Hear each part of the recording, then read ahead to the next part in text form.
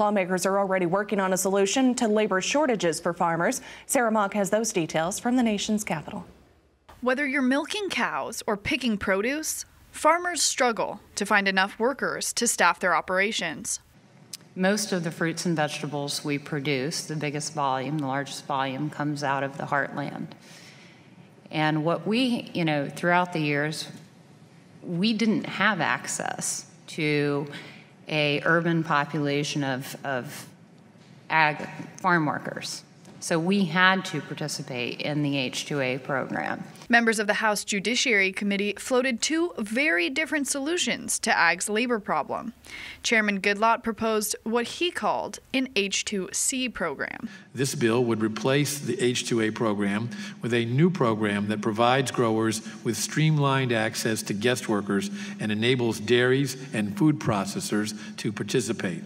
The bill would assure a reliable workforce by creating a program that is market driven and adaptable. It will not require growers to provide free housing and transportation or pay an unrealistic or uncompetitive wage rate. Another proposal would instead incentivize workers to choose farm jobs allow farm workers, professional farm workers who've worked 100 days in the uh, previous two years, to earn legal status. Congressman Gutierrez has a bill that does that, H.R. 2690, and there's over 50 co sponsors. Gutierrez's proposal would offer farm workers a blue card, a path to entering the legal labor pool, which advocates say should protect workers as well as farmers concerned about immigration audits. The American Farm Bureau is concerned that this could cause workers to leave agriculture.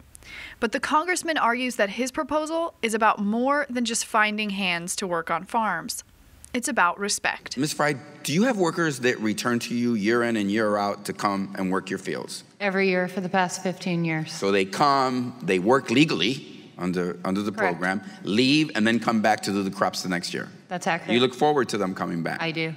Do you see them as some, you see them as farmers? I see them as farmers and I see them as family.